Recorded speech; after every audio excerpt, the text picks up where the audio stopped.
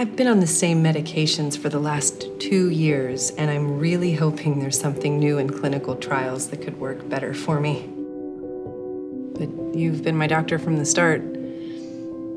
What if there's an attack on the trial drug?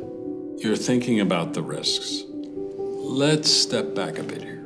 First of all, we need to determine whether there are clinical trials appropriate for you based on your specific medical needs and treatment history. You don't necessarily get to choose the trial. First, you'd have to be eligible. There are inclusion and exclusion criteria. Okay, right. Well, let's assume I am eligible.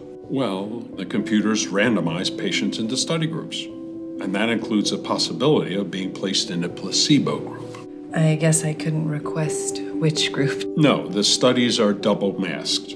Patients and doctors are in the dark about who gets which regimen new drug, existing drug, or no drug. What are the chances I'd be placed in the placebo group? Roughly between 33 and 50 percent.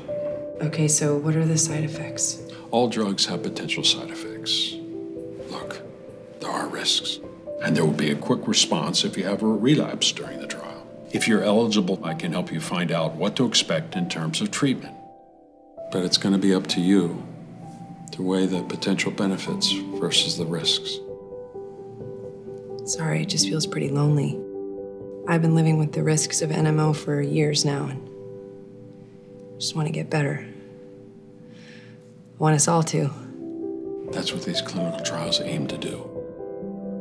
I think I'm ready for this.